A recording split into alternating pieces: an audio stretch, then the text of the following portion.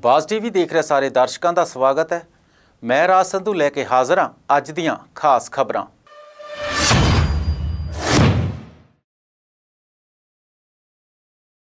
Supreme court ਨੇ ਵੱਡਾ ਫੈਸਲਾ ਸੁਣਾਉਂਦੇ ਹੋਏ ਕੇਂਦਰ ਸਰਕਾਰ ਦੇ ਨੋਟਬੰਦੀ ਦੇ ਫੈਸਲੇ ਨੂੰ ਬਰਕਰਾਰ ਰੱਖਿਆ ਹੈ।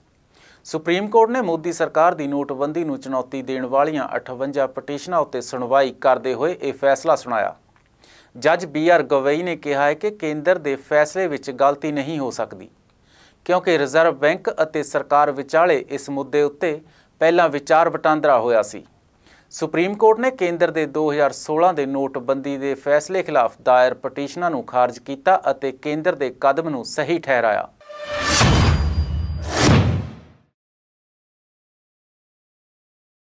ਕੰਜਾਵਾਲਾ ਹਾਦਸੇ ਉੱਤੇ ਦੁੱਖ ਪ੍ਰਗਟ ਕਰਦੇ ਹੋਏ ਦਿੱਲੀ ਦੇ ਮੁੱਖ ਮੰਤਰੀ ਅਰਵਿੰਦ ਕੇਜਰੀਵਾਲ ਨੇ ਅੱਜ ਕਿਹਾ ਹੈ ਕਿ ਦੋਸ਼ੀਆਂ ਨੂੰ ਸਖਤ ਤੋਂ ਸਖਤ ਸਜ਼ਾ ਦਿੱਤੀ ਜਾਵੇਗੀ।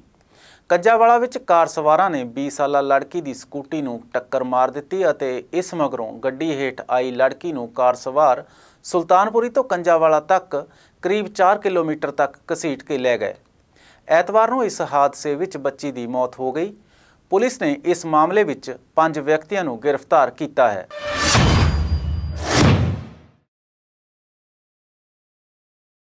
ਪੰਜਾਬੀ ਗਾਇਕ ਸਿੱਧੂ ਮੂਸੇਵਾਲਾ ਦੀ ਮਾਤਾ ਚਰਨ ਕੌਰ ਨੇ ਨਵੇਂ ਸਾਲ 2023 ਦੀਆਂ ਵਧਾਈਆਂ ਦਿੱਤੀਆਂ। ਇਸ ਮੌਕੇ ਉਹਨਾਂ ਨੇ ਸਿੱਧੂ ਮੂਸੇਵਾਲਾ ਨੂੰ ਯਾਦ ਕਰਦੇ ਹੋਏ ਕਿਹਾ ਹੈ ਕਿ 2022 ਨੇ ਸਾਡਾ ਪੁੱਤ ਸਾਥੋਂ ਖੋ ਲਿਆ। ਜਿਹੜਾ ਆਖਰੀ ਸਾਹ ਤੱਕ ਸਾਨੂੰ ਯਾਦ ਰਹੇਗਾ, ਅਸੀਂ ਨਹੀਂ ਭੁੱਲ ਸਕਦੇ। ਸਿੱਧੂ ਮੂਸੇਵਾਲਾ ਦੀ ਮਾਤਾ ਚਰਨ ਕੌਰ ਦਾ ਕਹਿਣਾ ਹੈ ਕਿ ਮੇਰੇ ਪੁੱਤ ਦੀ ਮੌਤ ਨੂੰ 7 ਮਹੀਨੇ ਤੋਂ ਜ਼ਿਆਦਾ ਸਮਾਂ ਬੀਤ ਗਿਆ ਹੈ, ਪਰ ਹੁਣ ਤੱਕ ਕੋਈ ਇਨਸਾਫ ਨਹੀਂ ਮਿਲਿਆ। ਉਹਨਾਂ ਦਾ ਕਹਿਣਾ ਹੈ ਕਿ ਪੰਜਾਬ ਸਰਕਾਰ ਤੋਂ ਇਨਸਾਫ ਦੀ ਮੰਗ ਕਰਦੇ ਹਾਂ। ਉਹਨਾਂ ਨੇ ਕਿਹਾ ਹੈ ਕਿ ਪੰਜਾਬ ਵਿੱਚ ਮਾਵਾਂ ਦੇ ਪੁੱਤ ਮਰਦੇ ਰਹਿਣਗੇ, ਪਰ ਕੋਈ ਇਨਸਾਫ ਨਹੀਂ ਮਿਲੇਗਾ। ਉਹਨਾਂ ਦਾ ਕਹਿਣਾ ਹੈ ਕਿ ਪੰਜਾਬ ਦੇ ਡੀਜੀਪੀ ਤੋਂ ਇਨਸਾਫ ਦੀ ਗੁਹਾਰ ਲਗਾਉਂਦੇ ਹਾਂ ਕਿ ਕਾਤਲਾਂ ਨੂੰ ਸਖਤ ਤੋਂ ਸਖਤ ਸਜ਼ਾ ਮਿਲੇ।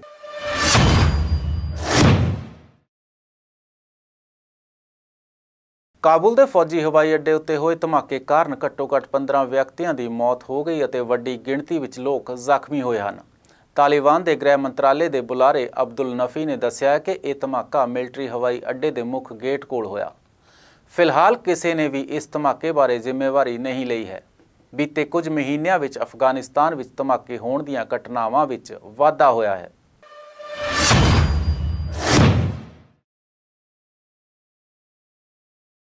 ਹਰਿਆਣਾ ਦੇ ਖੇਡ ਮੰਤਰੀ ਸੰਦੀਪ ਸਿੰਘ ਨੇ ਆਪਣੇ ਅਹੁਦੇ ਤੋਂ ਅਸਤੀਫਾ ਦੇ ਦਿੱਤਾ ਹੈ। ਇਸ ਮੌਕੇ ਸੰਦੀਪ ਸਿੰਘ ਨੇ ਕਿਹਾ ਹੈ ਕਿ ਇੱਕ ਮਹਿਲਾ ਕੋਚ ਵੱਲੋਂ ਲਗਾਏ ਗਏ ਜਿੰਸੀ ਸ਼ੋਸ਼ਣ ਦੇ ਦੋਸ਼ਾਂ ਤੋਂ ਬਾਅਦ ਉਹ ਮੁੱਖ ਮੰਤਰੀ ਨੂੰ ਖੇਡ ਵਿਭਾਗ ਦੀ ਜ਼ਿੰਮੇਵਾਰੀ ਸੌਂਪ ਰਹੇ ਹਨ।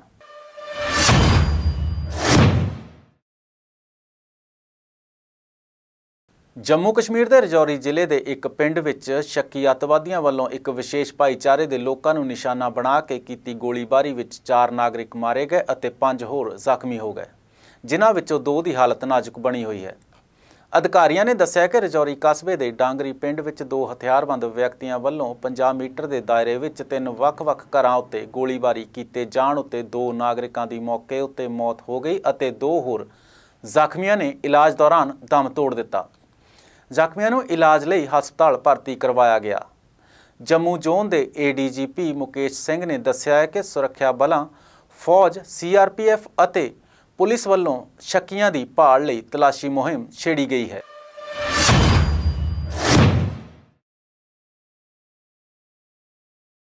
ਬ੍ਰਿਟੇਨ ਭਾਰਤੀ ਮੂਲ ਦੇ ਸਾਬਕਾ ਮੰਤਰੀ ਅਲੋਕ ਸ਼ਰਮਾ ਨੂੰ ਜਲਵਾਯੂ ਪਰਿਵਰਤਨ ਨਾਲ ਨਜਿੱਠਣ ਵਿੱਚ ਉਹਨਾਂ ਦੇ ਯੋਗਦਾਨ ਲਈ ਕਿੰਗ ਚਾਰਲਸ ਤੀਜੇ ਵੱਲੋਂ ਜਾਰੀ ਨਵੇਂ ਸਾਲ ਦੀ ਸਨਮਾਨ ਸੂਚੀ ਵਿੱਚ ਨਾਈਟਹੁੱਡ ਉਪਾਧੀ ਨਾਲ ਸਨਮਾਨਿਤ ਕੀਤਾ ਗਿਆ। ਆਗਰਾ ਵਿੱਚ ਜਨਮੇ ਸ਼ਰਮਾ ਅਕਤੂਬਰ ਤੱਕ ਕੈਬਨਿਟ ਪੱਧਰ ਉੱਤੇ ਮੰਤਰੀ ਸਨ ਅਤੇ ਉਹਨਾਂ ਨੂੰ ਓਵਰਸੀਜ਼ ਲਿਸਟ ਵਿੱਚ ਸ਼ਾਮਲ ਕੀਤਾ ਗਿਆ ਹੈ।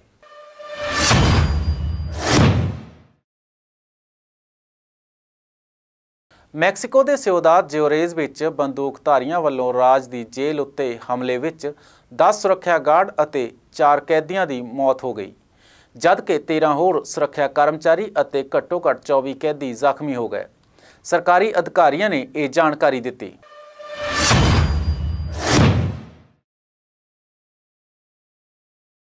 ਯੁਗਾਂਡਾ ਦੀ ਰਾਜਧਾਨੀ ਕੰਪਾਲਾ ਦੇ ਇੱਕ ਮਾਲ ਵਿੱਚ ਭਗਦੜ ਨਾਲ 9 ਮੌਤਾਂ ਹੋ ਗਈਆਂ।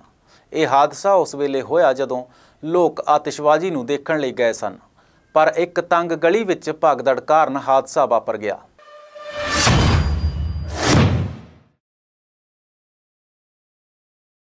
ਪੰਜਾਬ ਵਿੱਚ ਅੱਜ ਪਈ ਸੰਘਣੀ ਧੁੰਦ ਅਤੇ ਠੰਡ ਵਧਣ ਕਾਰਨ ਸਵੇਰ ਤੋਂ ਜਨਜੀਵਨ ਬੁਰੀ ਤਰ੍ਹਾਂ ਪ੍ਰਭਾਵਿਤ ਹੋਇਆ ਹੈ। ਰੋਜ਼ਾਨਾ ਕੰਮਕਾਰ ਉੱਤੇ ਜਾਣ ਵਾਲਿਆਂ ਦਾ ਠੰਡ ਨਾਲ ਬੁਰਾ ਹਾਲ ਹੈ।